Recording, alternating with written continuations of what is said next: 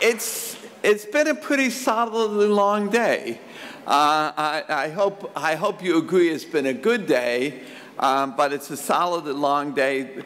Um, and in just a minute, we'll, I, am, I know I'm standing between you and the reception um, and, and the Gordon Biersch beer and the wine, but a couple of things. There's an evaluation form. Please fill it out if you haven't already. And I want you to answer one more question on it than we've asked.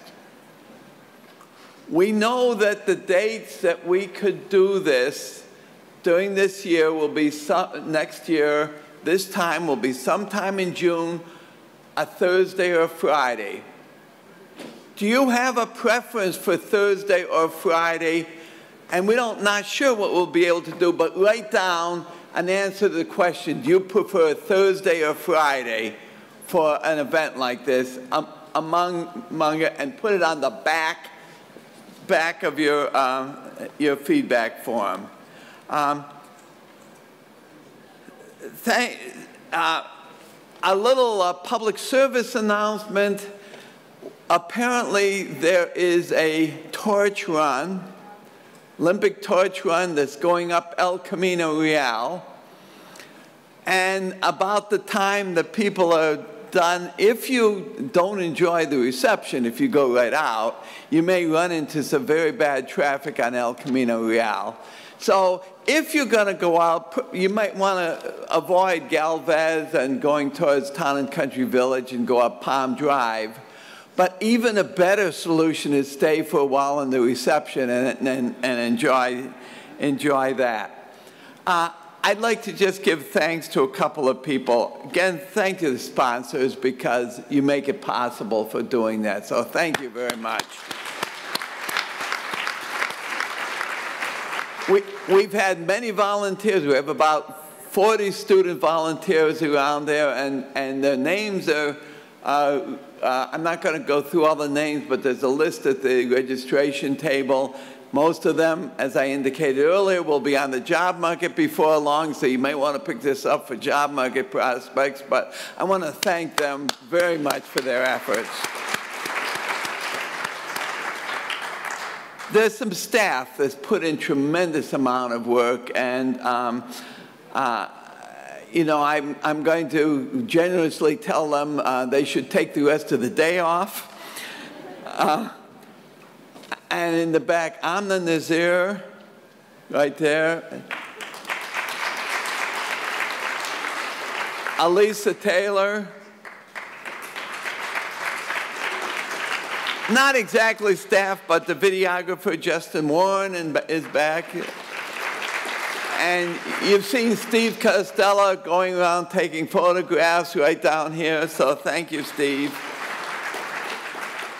And I want to call one special person up, uh, Michael Killen.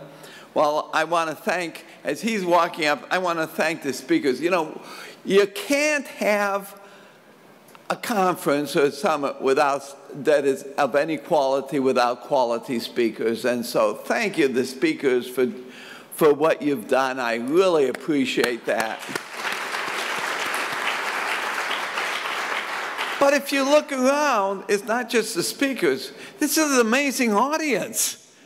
I mean, look around. This is the best networking location I can think of if you're interested in energy. And, and because uh, sitting in the audience is a, tremen a tremendous number of people who are the movers and shakers around here? CEOs of companies, uh, ex-government officials, uh, academic leaders.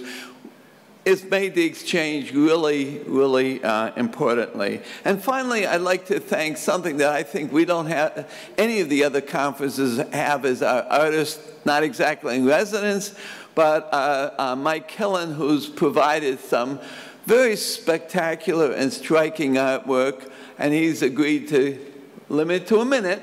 Uh, just some last comments before I say the last word. Mike. Michael. Thank you. I'm Michael Killen, and Jim certainly leads with the Energy Summit. I want to share, I'm on a mission, and the mission is to help California lead in addressing climate change. Some of you know this, some of you don't. I have a special talent. I paint the great developments and thoughts of our times.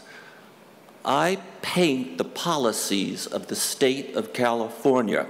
And I do it in a way, or I attempt to do it in a way that has a great impact. For example, you and just about everyone in this state has a mix of the qualities of Don Quixote. This man challenged me to tap into the story of Don Quixote to do some more good in this state. In the lobby is a painting called Don Quixote Meets Climate Change. I hope you take a look at it. I'll be out there to, to interpret it for you. Also, I heard George Shultz say he learned a lot about water. There is a second painting out there where Don Quixote, Quixote joins the great water challenge battle of this state. Thank you. Thank you, Michael. Hey, thank you. So finally, I'd like to invite, thank you all for coming and participating. Put on your calendar, block off all of June of next year. Sometime it's going to be in June, either Thursday or Friday. And right now we have a reception, reception out back. Uh, wine cheer, um, wine, beer, uh, little foods. Drink responsibly, but uh, do avoid the traffic on El Camino and, and do some more networking. Thank you.